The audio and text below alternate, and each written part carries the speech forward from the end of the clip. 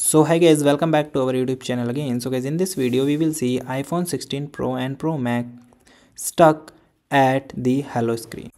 First step is you try to force restart your phone. So guys force restart you simply press the volume up button then down button and press your power button. Okay until you see the apple logo. Okay when the apple logo is appear it's mean your uh, process is complete. Okay so i am trying again. So for example your phone is locked. So you just turn on press this then like this. Wait until you see the apple logo is appear on your phone or not. Okay? When the apple logo is appear then you leave your button. Now here you leave your button. So this process is called the force restart. Okay? Then check the problem is resolved or not. Okay now guys we move to the another step. So guys another step is guys you try to wait for the battery drain. So guys if your phone stuck on some of this uh, some of this step like you uh, on the hello step and on the screen so guys you wait for uh, around 2 hours to 3 hours until your phone is completely drain out. Okay?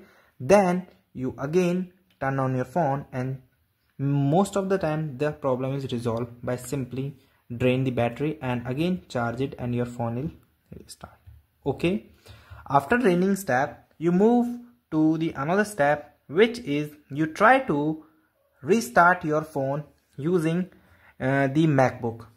Okay? So guys if you're having the macbook or the computer so for computer user you download the itunes.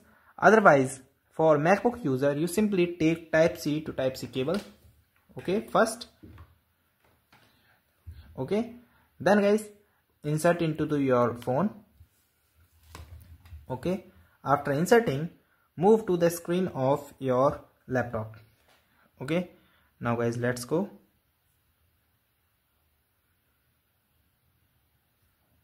Now guys uh, put your another end to your macbook. Okay? So you simply put it. Okay? And find the uh, here you see so I try to adjust the camera. So guys here you see the option of iPhone okay? Okay now I'm zooming it. So here you see the option of iPhone. So you just tab it. After tabbing you see there are a lot of options shows on the your MacBook screen. So guys here it shows the uh, uh, check for update and restore your iPhone. Okay so guys first one is check for the software update. So you just tab it. And here you see the process start. So guys here you see. So now the my phone is shows the version of your iphone software is the current version. So this is my current version. And it is latest version. Then i'm tab on the ok. Okay here now you clearly see. Then you tap on ok. After that guys you move to the another step. So guys another step is restore your iphone so guys if you're having the issues that your phone stuck on the screen so guys you also restore your iphone. So just just tap it and find my device be turned off before iphone can be restored okay? So you can turn off this feature from your phone and your restore processes begin okay?